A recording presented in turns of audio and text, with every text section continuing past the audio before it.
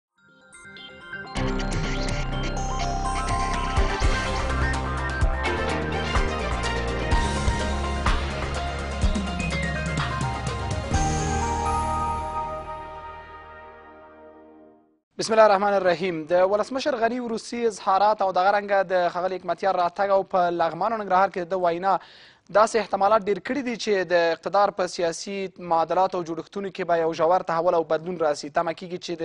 سیاسي انحصار هغه کړۍ به ماته سي او یا همدغسې یو ژور تحول به راسي چې ځینې نور هغه ادرسونه چې لا په حکومت کې برخه نه درلوده او یا یو ډول سره له حکومته بې برخې پاتې هغه حکومت ته راسي ښاغلی غني تېره ورځ په خپله وینا کې ویلې چې نور هغه وخت پای ته رسېدلی چې څوک په زور باندې واک ته ورسېږي او د ده حکومت د اصلاحاتو د قانون حاکمیت دپاره جدي اراده لري دغه رنګه بیا ښاغلي حکمتیار تېره ورځ په لغمان کې او نن په ننګرهار کې د هغه نیوکې ترڅنګ چې ده پر طالبان درلودې پر حکومت یې هم نیوکې وکړلې چې که دغه دوه مشران چې اشاره ډاکټر عبدالله او ډاکټر غني ته وله سره جوړ نه شي راتلی نو یو دی د بل لپاره د اقتدار څخه تیر شي همدارنګه ده هم هغه خبره بیا تکرار کړله چې نور هغه وخت پای ته رسېدلی چې څوک دی په زور سره حکومت وکړي او موږ د یو منتخب او مقتدر مرکزي حکومت پلویان یاسو څومره به د قدرت انحصار مات شي څومره به هغه څه چې ولسمشر غني ویلي او ښاغلي حکمتیار هم یو ډول سره تاکید پرې کړی دی څومره به دا هر څه په دغه معادلاتو کې تغییر راوړلی شي د ښاغلي حکمتیار راتګ د ښاغلي غني اراده او د حکومت کې د وروستیو عددونو بدلونونو خبرې چې د ضیا مسعود ویستل له حکومت څخه دغه د ښاغلي دوستم په هکله د حکومت نا واضح دریځ دا ټول به څومره د دې لامل شي چې په واقعي معنی دلته د حکومت او د اقتدار په انحصار کې یو ژور بدلون راشي سلام وخت مو بخیر تودو بحثونو دغه خپرونه زه میرویس سنګزیار ته وړاندې کوم همدا خپرونه مو ځانګړې کړې ده د یو ځانګړي بحث لپاره د ملي تحریک له مشر ښاغلي پوهاند محمد اسماعیل یون سره یون صاحب پخیر راغلی کور ودان سلامت اوسئ تمه شته چې د قدرت انحصار د مات شي د ولسمشر ارادې او د ښاغلي حکمتیار را ظاهرېدو ته په کتو بسم الله الرحمن الرحیم زه فکر کوم چې طبي ډول باندې تغیرات راځي یو دا چې په تیرو ولسو کلونو کې چې کوم نوم ډیر وکاریده او د هغه محتوا خلاف وکاریده هغه د جهاد نوم و او حکمتیار هغه سړی دی چې د افغانستان په جهاد کې تر ټولو زیاته ونډه اخیستې دا چې د جهاد نتیجې پایلې ګټې او زیانونه څومره وو په هغه بیا تاریخ قضاوت کوي خو په دې ټولو کې محوري رول چې و د لره نو بیا دغه نامه څخه په تیرو ولسو کلونو کې ډېر زیات ناوړه استفاده وشول حتی هغه کسان چې د جهاد په وروستیو کلونو کې تولد شپې ورځې وي هغوی د جهاد د وراثت چیغه پورته کړه او امتیاز په دې نامه باندې واخیسته نو دغه امتیازات چې ده دغه پلمه چې وه دا به ختمه شي بل د مقاومت په نامه امتیازات اخیستل کېدل دا هم اتومات د پراتک سره دا چې د کمزوري کیږي او قانوني مسیر ته دا مسایل لیږي نو یو تر ټولو نه غټه ګټه دا ده چې د جهاد امتیاز یا د جهاد په نامه باندې سیاسي تجارت تر دې وروسته هغه ډلې چې جهاد نه وکړي د هغوی په لپاره یو غټه ستونزه ده چې بیا له دې نامه څخه ناوړه استفاده وکړي او طبیعي ډول باندې په حکومت کې هم تحولات راځي نو یعنی د حکومت د اراده بحث پر ځای دی چې ولسمشر وایي چې د اراده لري قانون حاکمیت او نور حکومت خو یعنی واحد حکومت نه ده ګډوله حکومت دی نو د حکومت هغه برخه چې زورواکي نه دي او د خلکو پر رای باندې راغلي دي او د زورواکۍ عنصرو سره ملګری دی هغه غواړي چې افغانستان کې تحول راوړي او د دولت مشر اشرف غني او غټه لاسته راوړنه په دې دریو کلونو کې همدا ده چې حزب اسلامي غوندې یو تنظیم چې د پخلاینې یا د مذاکراتو ډیر زیات تاریخ نه لري او په خپل خبره ډیر ټینګار کوي هغه دې زمينه برابر شول چې دا د سولې پروسې سره یوځای شي نو دا برخه هغه لري تعهد لري ژمنتیا هم لري مګر د حکومت هغه برخه چې جنګ سالارانو څخه جوړه ده او خپل غني او دغه یارانو سره لاس په ګریوان دي او له تیر نظام نه ورته په میراث پاتې او د هم دغه میراث په قطع کونه کې پاوله کې جرأت ونک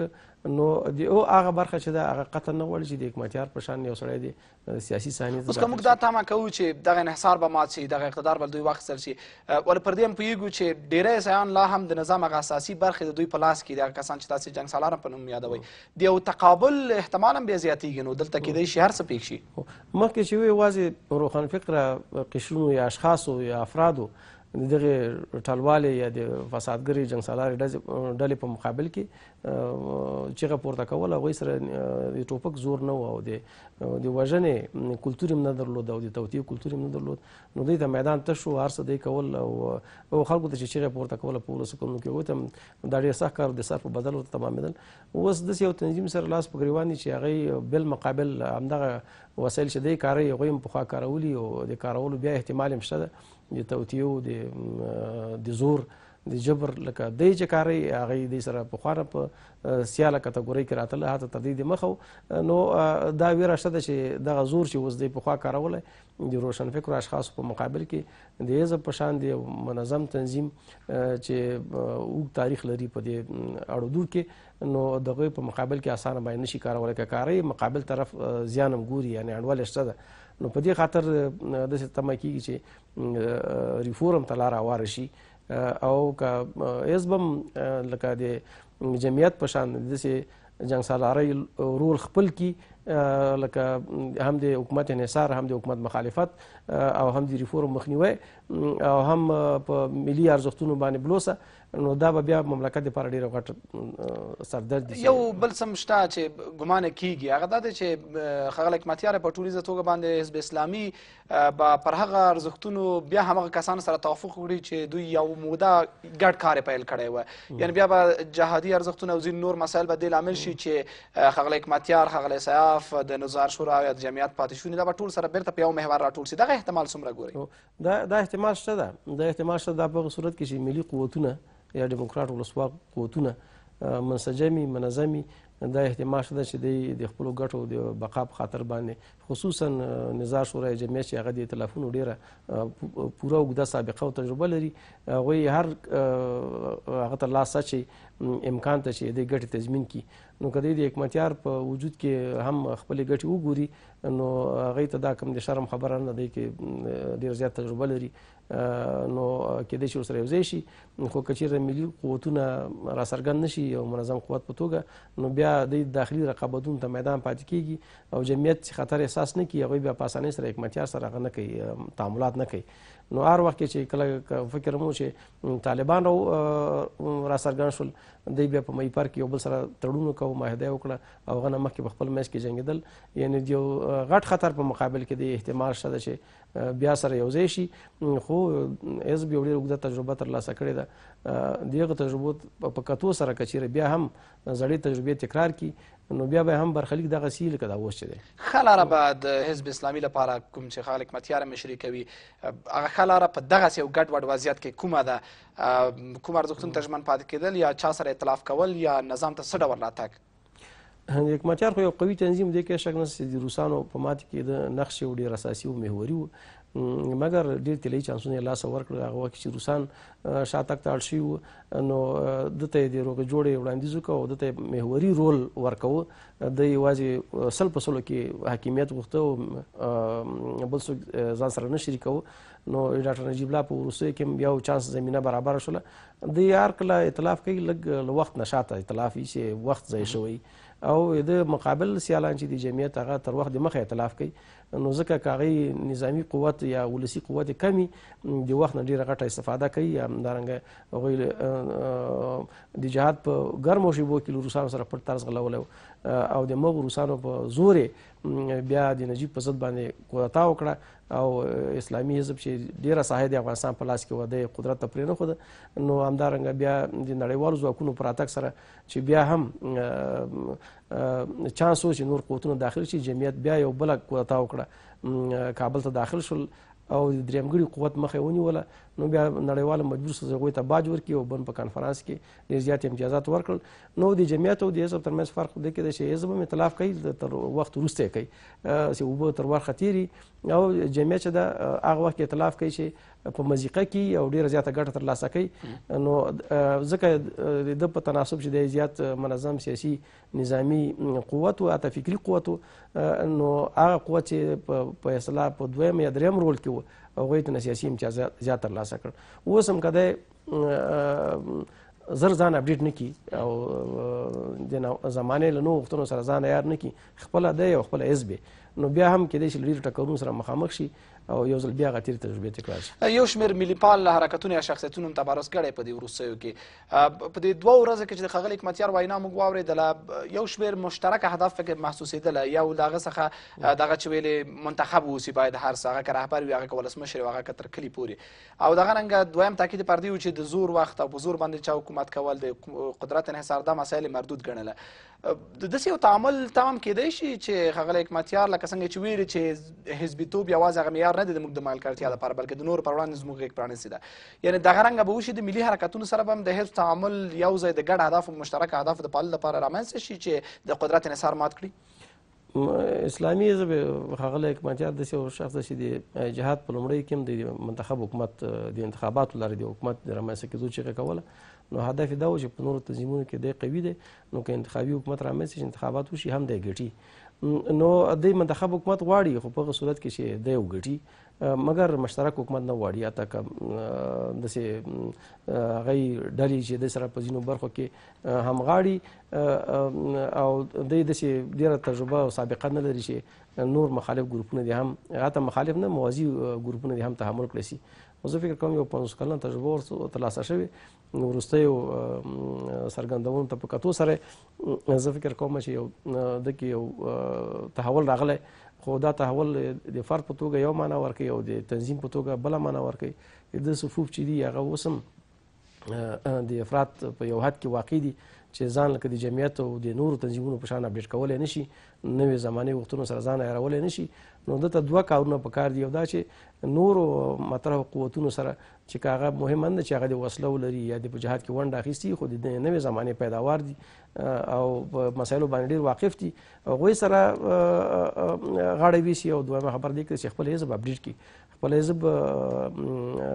په دې پوه کړي چې پخوانۍ خبرې چې دي چې د جهاد د دورې مسله وه هغه اوس نه د چلن وړ ده او نه یې ضرورت شته نه یې اړتیا شته هغه قوتونه چې دي مات شوي اوس د د افغانستان د جوړونې د افغانستان د پرمختګ مسله مطرح ده او تولیدات مطرح دي چې کوم حزب تولید کولی شي عملا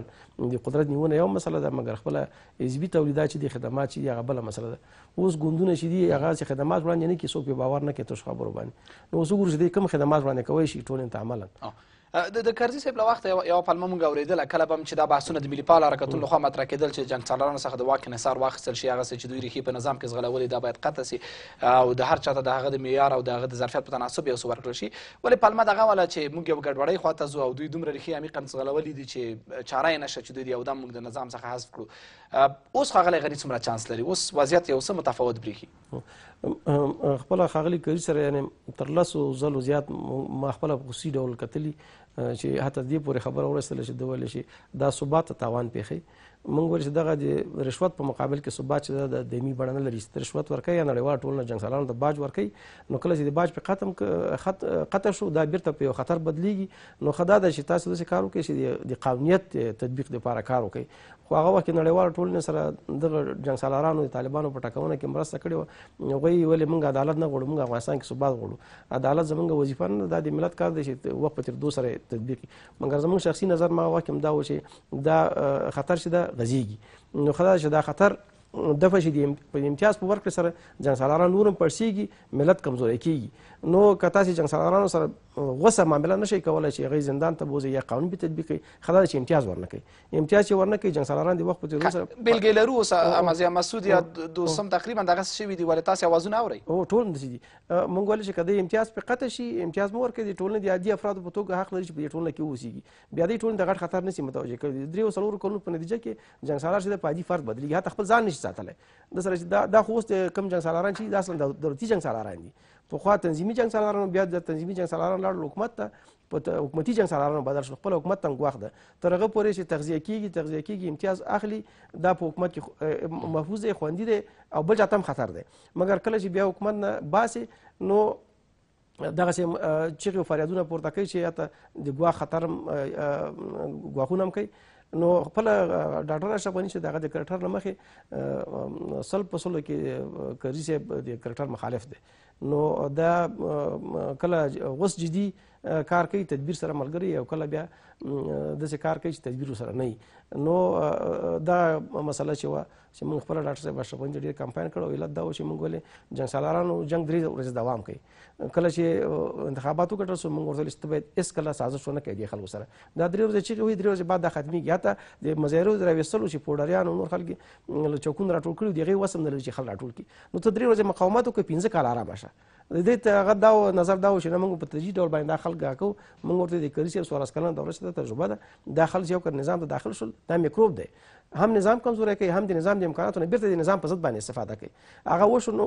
یعنی سړی چې د تفکر دعوا کوي د سیاست او دا هغه درې کاله بعد یې نتیجې ته ورسېد چې دغه کوم کار چې ما کړی هغه د قانون خلاف و اوس هم موږ ورته وایو چې یوازې د ښاغلي احمدضیا مسعود خبره نه ده نور نوي جنګ سالاران چې داخل کړي دي د دیموکرات په لباس کې نیکټایي والا په لباس کې ماهیتا جنګ سالاران دي او د قانون خلاف دي ورته امتیازات ورکړي هغه هم لرې کپم دی دا یعنې فکر کوئ چې ولسمشر غني یو پیل کړی دی د دوستم قضیې ته په کتو یا د مسعود قضیې ته په کتو دغسې احتمالا ځینې نور بدلونه په لاره کې دي منزوي کړي دي دوی یا پیل کړی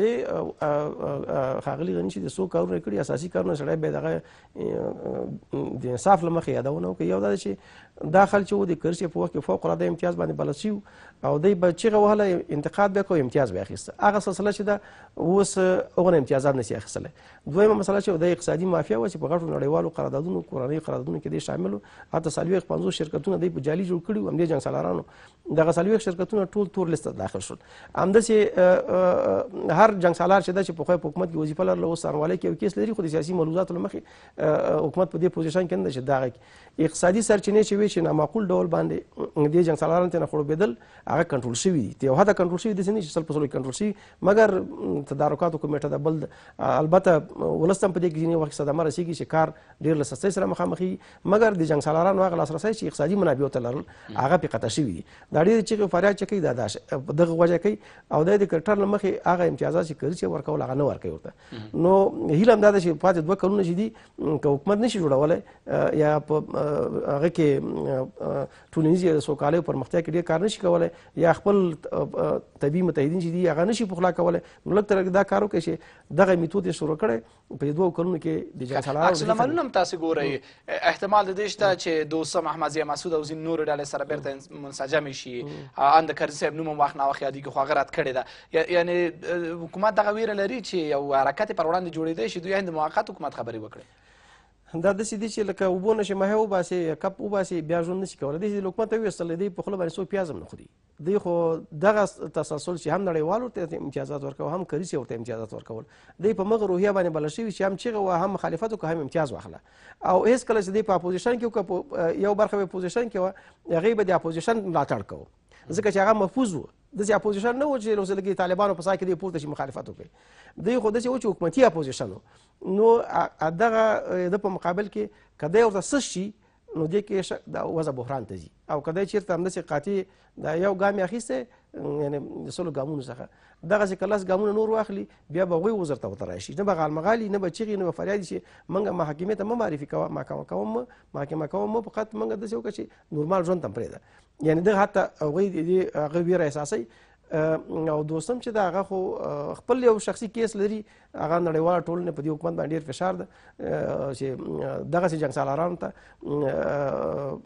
موږ نشو کولای چې د افغانستان سره کومک وزنګو د ولس د عامه ذهنیتونو تر فشار لاندې نو او د څه لسګونو پیښې نور هم شوي خو اوس هغه هغه کیس روان دی نو د نور جنگ سالاران چې تازه داخل کړي دي د جمعیت په ساهم باندې یا لا تمام نور سره ځانګړي معاملات یا لا امر الله صالح سره دا ټول ماهیتا یو کټګوري خل دي او که څوک دا سادهګي کوي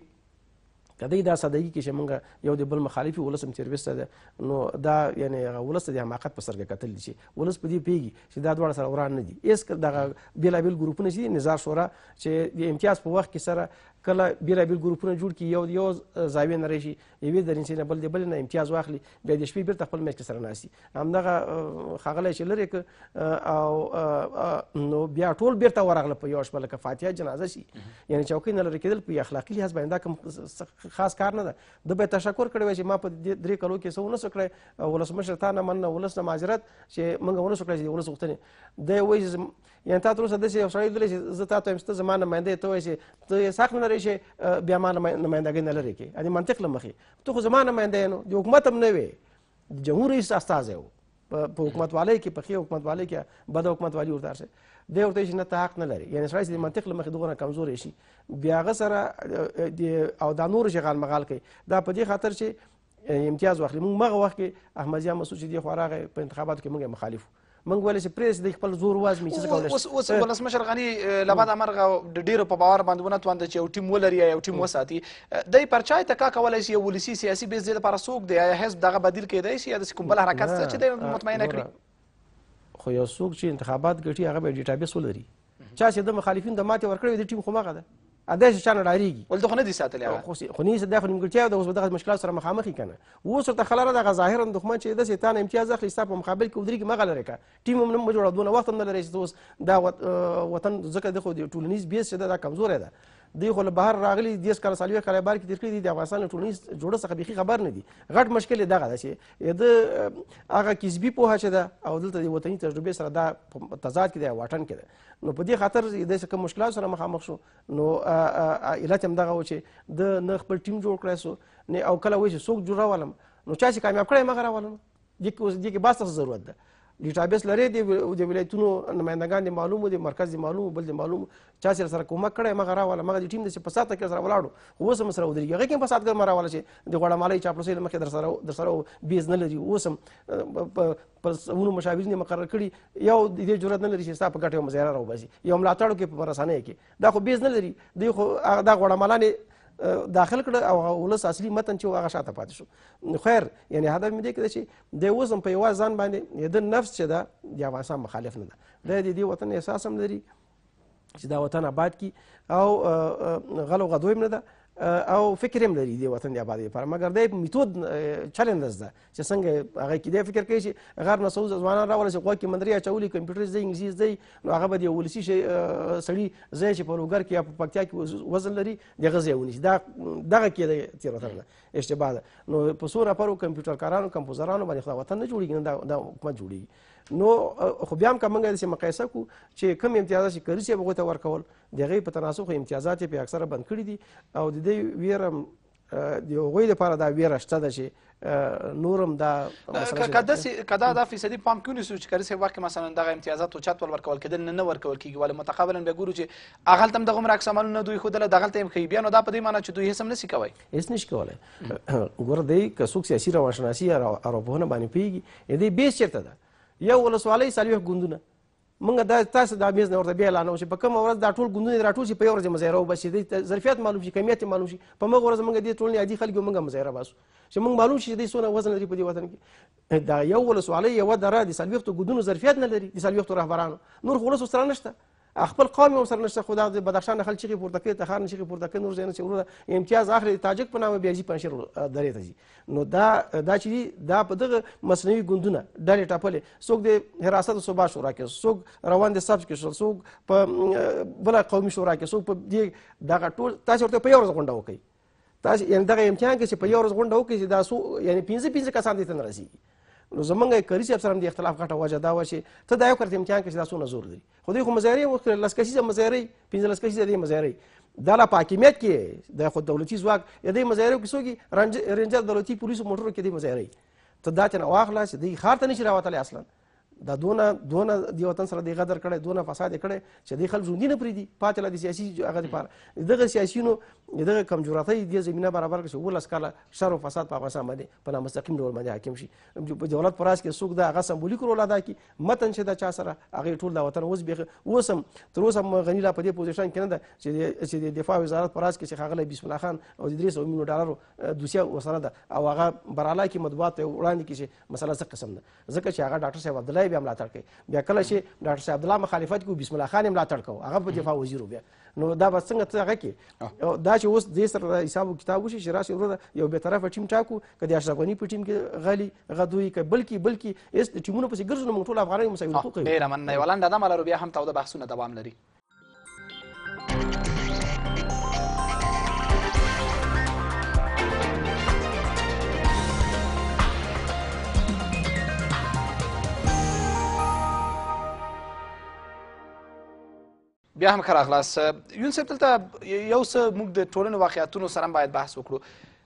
دوی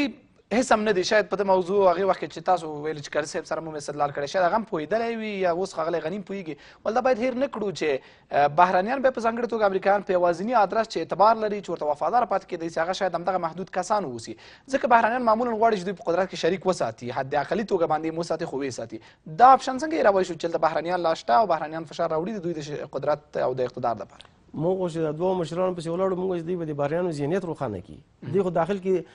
ډاکټر صاحب اشرف غني خو داخل کې ریښه نه لرله دی خو امریکې نه راغی خو د امریکانو ذهنیت روښانه کړي چې دا هېڅ شی هم نه دي د کې هېڅ شک نشته امریکانو خپله په کتاب کې لیکلي کاجیبې په سي آی په پنجشیر کې په هغه کې نورو کتابو کې لیکلي چې دا هغه خلک دي چې لکه دایمي نه وفاداري لري نه دایمي ژمنه لري دا لکه بازار کې سره چوک نه چې مزدورکار راخلي د ورځې په قیمت باندې اخله بېرته یې خوسې کوه دې ته لیکلي په دغه شان په دغه الفاظ باندې په دغه لهجه باندې ورته لیکلي هغه پیسې چې ورکولې په نور ځایو کې نو مګر دا خو د وظیفه او دولت مشر سي د حکومت مشر سي خو ته خو دا قانع کړ نو خیر ته کم کار کوي یو کار خو ته کوي یا د خارجانو ذهنیت قانع کړ یا ولس سره ملګری شه نو چې نه کورنۍ کار کولی شي نه بهرنی کار کولی شي نو کوي به څه شي نو او بیا خلک چې دی په نوز باندې پیږي هغه راواله ورته موږ ورته ویل چې انتخابات وکړي څوک چې دی مخالف دی مات کړي خو هغه ټیم راوله مشکل حل ده کنه دی یو بیا رب ته نه ولې شي خو انتخابات و دې ګټل دا خبره هم باید خغله احمدزیا مسعود موري د کم بیز لري د کرزي چې په وخت کې د اول ماوینو درې سو دې شریا چولې هغه په پزي کوچانو په پنځیر کې چولې د یو ریم نه چولې او وایي چې د ملي قهرمان ورور ما نو دا ملي قهرمان څنګه ملي قهرمان دی چې په خپل ورور په خپل ولسوالۍ کې درې سو و دې شریا لري دا یو مسله دویمه مسله چې دته چې 15000 رای وټولې په هغه پنځه ریم چې د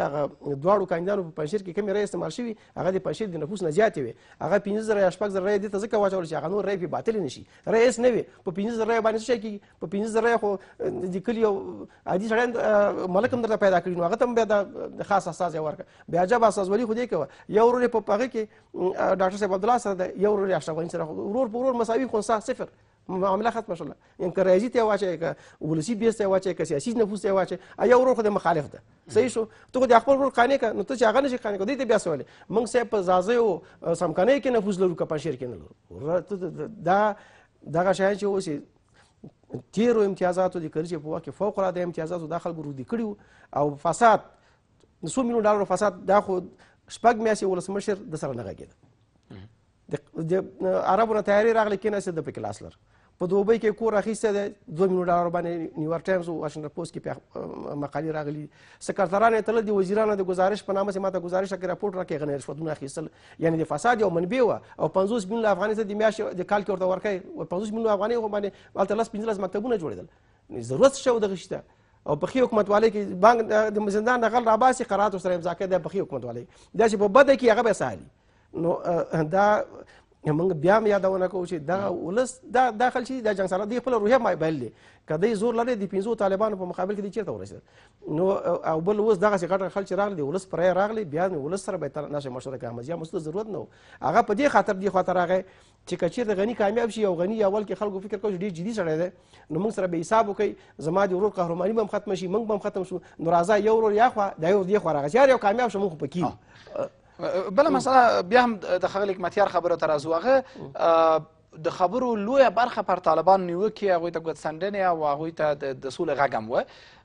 دا یو پلان شوی عمل بولئ یا دا یوازې احساسات او عاطف یا هغه انګېرنه چې دی خپله لري او فکر کوي چې نور واخره ځله جګړه پای ته ورسېږي یعنې ولې ښاغلي حکمتیار دومره ډېرې تندې نیوکې د نورو هر ادرس په تناسب پر طالبانو وکړي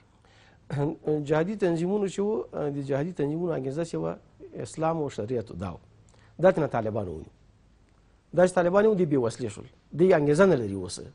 نو ښاغلی حکمتیار چې تر ټولو نه زیات په طالبانو باندې نیوکه کوي علت دا ده چې هغه کوم شی چې ده ته مشروعیت ورکوو هغه تېنه بل چا ونیو دا چې ښه دی که خراب دی په کومه معنی یې نیولی که نه یې نیولی دا دغه مسله ده که نه مغه تسلسل چې دی خلکو کوه مغه تسلسل اوس طالبان هم کوي زمونږ هیله دا چې په لومړی ورځ کې دومره طالبانو سره دومره جدي چلن کول چې دا ملت ته په تاوان ده ځکه تا سره که چا جدي چلن کو مخکې په دې حکومت کې تا په نامه په زرګونو خلک دلته بندیان شوي اوس حکمتیار او اسلامي حزب سره تړاو نه لري اوس هم په زرګونو خلک طالبانو په نامه باندې بندیان طالبان سره تړاو نه لري دا موږ ته هم طالبان یک ټیکدار وي طالبان یې بیري شو طالبان یې اقتدار نو دغسې توند چلند چې د طالبانو سره طالبان به سولې ته راماشي بالاخره چې حکمتیار پنځوس کاله بعد دې نتیجې ته ورسېږي سولې طالبان به هم یو وخت دې نتیجې ته رسېږي مګر طالبان اوس یو قوت دی سیاسي قوت نه دی موږ هر وخت وایو چې طالبان یو یو مذهبي او نظامي قوت دی نو که طالبان سیاسي قوت وي خو بیا په دغه عمر عظمت سره چې د دغه دنیا سره ډغره وي خو بیا ډېر امتیاز ترلاسه کولی شو نو موږ وایو چې هر هغه مخالف چې په بېلابېلو عواملو لارې مخالف شوی دی دلایل یې باید ولټول شي دلایل یو یو پسې حل شي چې د پخلاینې زمینه ورته برابره شي او اصلي مشکل چې ده اصلي مشکل افغانستان کې په طالبانو کې نه ده چې طالبان نه وو ته یو چا سره مخالف وي یعنی دا معنا لري چې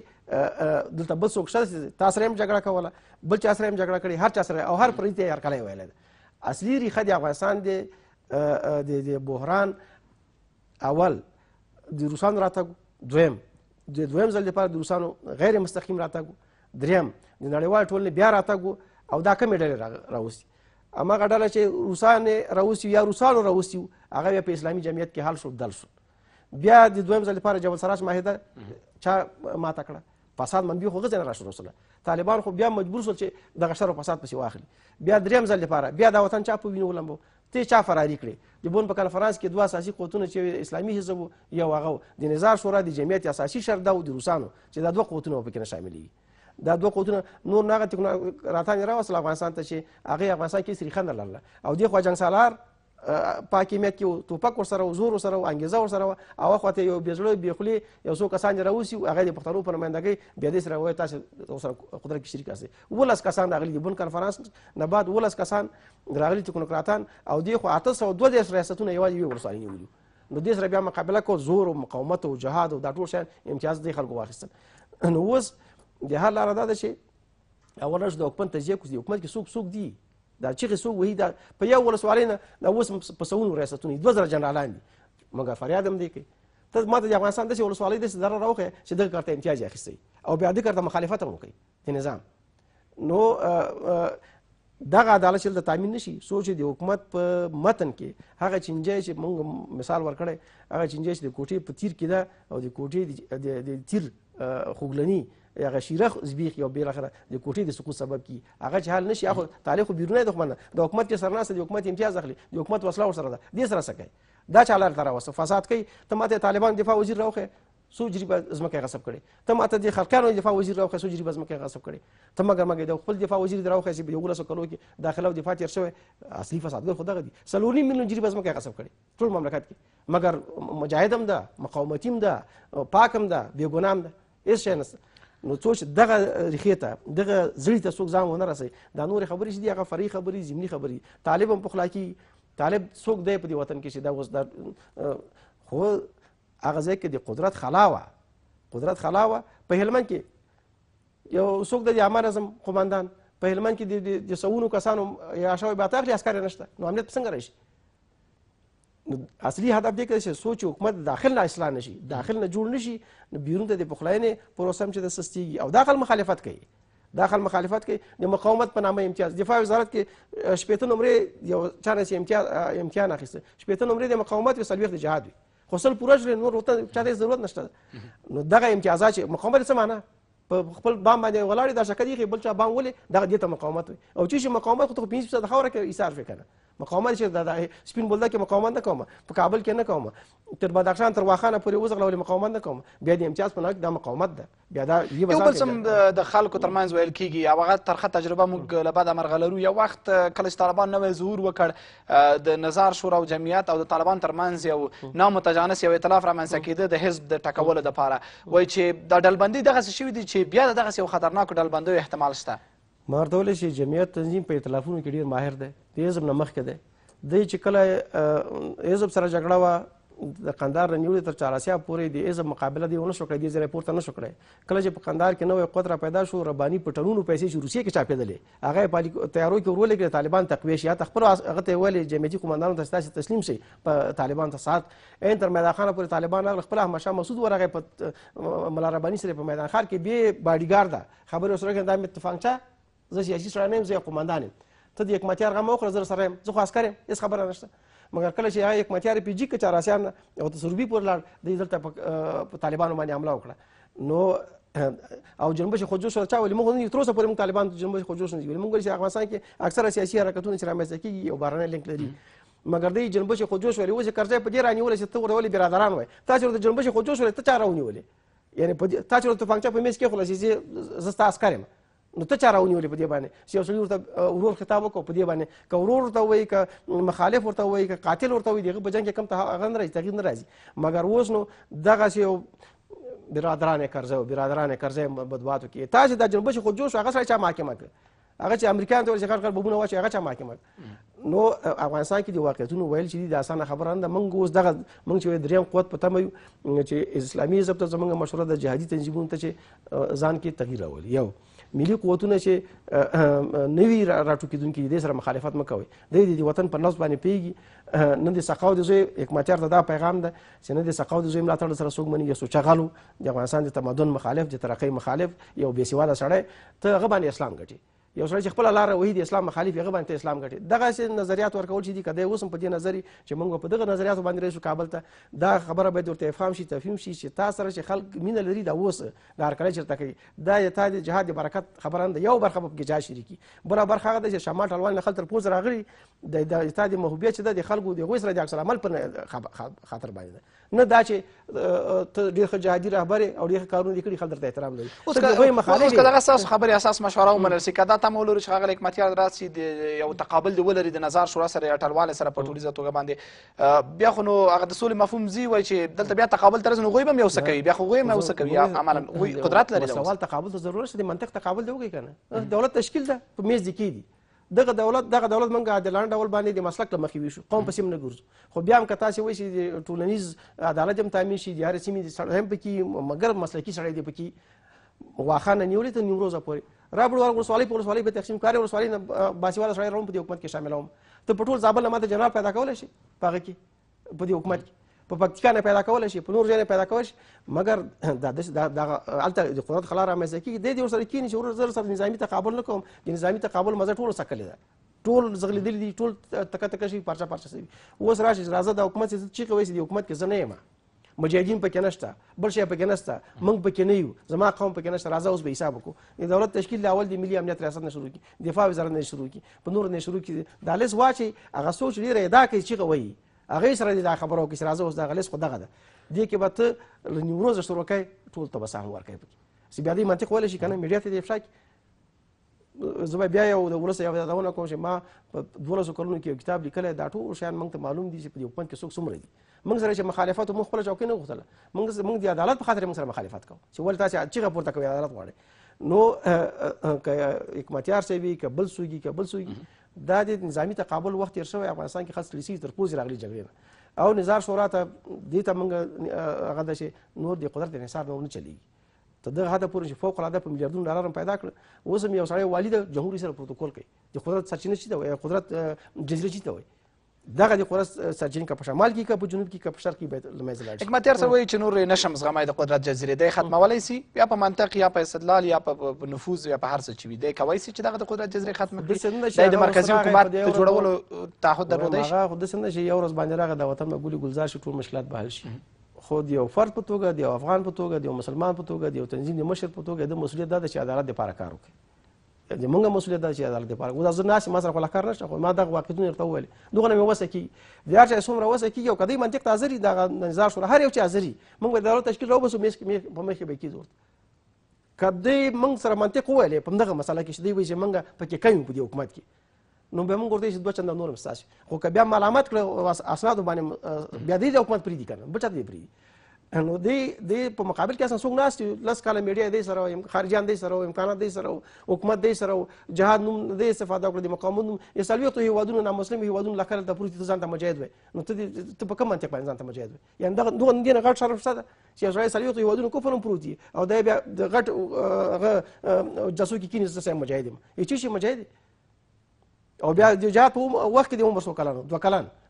څو عمر دې څونه دیارلس جهاد یې څونه کړی څوارلس کاله نو دا شیان چې دي دا دا باید اصلاح شي او د دې لپاره هغه نه لري اصلا دې جذور نه لري چې مقابل طرف کې نه باس سره کې منطق سره بل مسله د ټاکنو ده دا اوس نه احساسيږي چې انسجامات روان دي په ځینو برخو کې د ځینو ډلو ترمنځ ځینو سیرو ترمنځ چې ګویا د اوس نه د راتلونکو ټاکنو د لپاره صف بندي کیږي د خغلی نور او د خغلی ولسمشر ترمنځ دغه تعامل خبره چې کیږي وایي چې دغسې یو څه روان دي کیدای شي د لومړۍ مرستیالۍ لپاره احتمالا هغه راسي دلته حزب راغی حزب وایي یا به خپلواک نومان لري خپل نفوذ ته په کتو سره یا به مشترکا د یو بل ادرس سره یو ځای نوماند ورکوي په راتلونکو ټاکنو کې به څه پېښ شي دغسې به بیا حکومت تقسیمېږي دغسې به هغسې کېږي چې ښاغلی حکمتیار هم ردوي وایي اطلافي شراکت زه نه غواړم یعنې کوم څه به دغسې وشي لکه چې شوي دي یا متحول وضعیت به وي اول خو نه په ډاکټر غنی باندې اعتبار شته چې عطا محمد سره به د یاري دوسی ډېر دوام پیدا کی او نه په غیر اعتبار شته چې دا به دوام پیدا کی ځکه دا ائتلافونه چې دي مقطعي جمعې دوام کوي میاشت کال دوام کوي د هغوی پروګرام دا دی د نظار شورا د جمعیت چې خپل ځان په قدرت کې وساتي اشرف غنی چیر به ځان په قدرت کې وساتي بیا اخر شپو ورځو کې حکومت تغییر نشي راوستلای نو دی په حاکمیت کې پاتې کیږي حاکمیت چې پاتې دی حاکمیت په زور باندې دی غواړي چې انتخابات وکړي پیسې وسره دي زور سره وسله وسره نو او بل خبر دی کده چې د انتخاباتو فرمول به څوک جوړي په دغه هغه کمیسون باندې ضعیفه کمیسون باندې انتخابات کول د خپل د دوه غیر متجانس اشخاص او متضاد اشخاص کمیسون دې په توافق باندې کمیسون رامنځته شوی دا کمیسون د افغانانو خو منلو وړ نه ده بل خبر دی کده چې انتخابات خو ولسمشر واضح کړو چې هر څه پیښیږي دا ټاکنه په واخ کې د ولسمشرۍ خو خو تیر کال ولسی جرګې ته په غونډه کې ویل چې انتخابات په ولسی جرګې په خپل وخت کې وخت چیرته ده و خو د ولسی جرګې دوه کاله تیر شو خو دا خبرې دي چې یعنی باید سړی حافظه ولري چې زه جمهور رئیس په توګه خبرې کوم زما خبرې ثبتېږي د خلکو په حافظه کې پاتې کېږي مشکل په دغه کې ده مونږ چې دا کله کله چې سړی په ډیر فکر کې لیونی شي هغه دغه شي کنه چې ورور کوم وعده چې کولای شي هغه ورکه سي نه شي کولای مې کوه سنگین وساله کې څنګه انتخابات کوي او دا اوس دې وې سره سره د کارتونه تقسیم شي د دې فرمول سره سره کارتونه تقسیمېږي موږ ساه کې ځکه دین سره کې شامل دي کې به کارتونه تقسیم شي نور خو پاتې هلمن کې د او ولسوالۍ اوس پلاس کې نه لري یعنی دغه د انتخاباتو کمیسون مشر او غړي خپل د مفکر صاحب او د ډاکټر صاحب عبد الله په شمول د ازري یو هیڅ سنگین ته اوس اس کې مینه هغه ته ځو اچین ته ځو تلای شي دا نو انتخابات څنګه کوي ته کار نه تقسیم انتخابات څنګه کوي اول باید امنیت تامین شي دا حکومت باید تر ټولو د مخه امنیت ته کار وکړي امنیت ته چې کار وکړو بیا هر څوک انتخاباتو ځان کاندیدای نه دا اوس ځینې ټالوالې جوړ شوي دا خو چې اکثره سیمو کې جګړه ده موږ به دې جګړې په بهیر کې په دې میز کې انتخاباتو کې کامیاب شو دغه هدف ده کله چې افغانستان کې امن راغی بیا نه احمد ضیا مسعود ځان جمهوري ریاست ته کاندیدای او نه عبدالله کاندیدای نه بل کاندیدای خپل وزن باندې پیږي دوی خو دغه خلا ته منتظر دي چې یو قانوني خلا رامنځته کړي انتخاباتو کمیسیون یې په خپله خوښوي فورمول یې په خپله خوښوي بس به دې کې ما د انتخابات وګټل کړ څوک چې نه راوځي لکه غزني په شان